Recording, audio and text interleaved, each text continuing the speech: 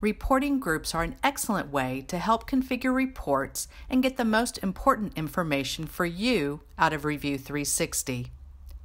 In the Account Preferences under your name in the upper right corner, there is a tab called Reporting Groups. A reporting group can be a filtered list of students, say students A through M, or all third graders, or all kids at a specific school.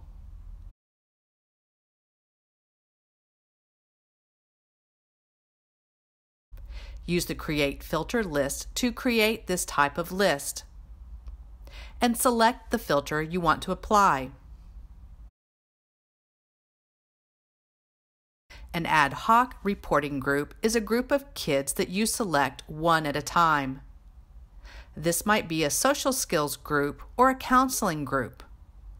Use the Create Ad Hoc List button to create this type of list and add the students one at a time.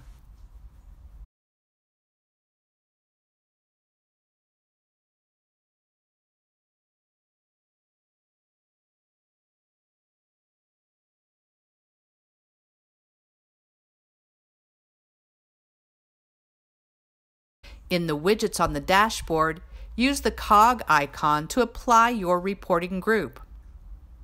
If you travel to multiple campuses, you can create a reporting group for each campus and then apply the reporting group to the widget when needed.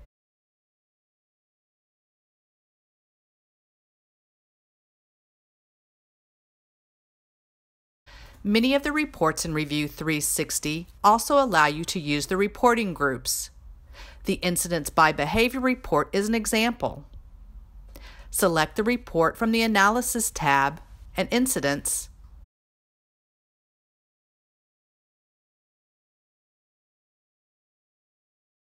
And then at the top of the report, select the reporting group from the Reporting Group drop-down, and then click the View button.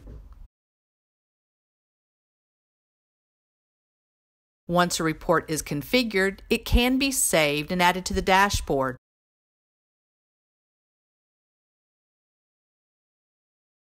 Saved reports can also be emailed on a recurring basis.